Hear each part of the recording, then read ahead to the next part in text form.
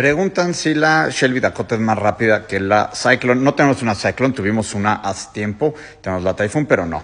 Esta de 0 a 100, más o menos 8 segundos.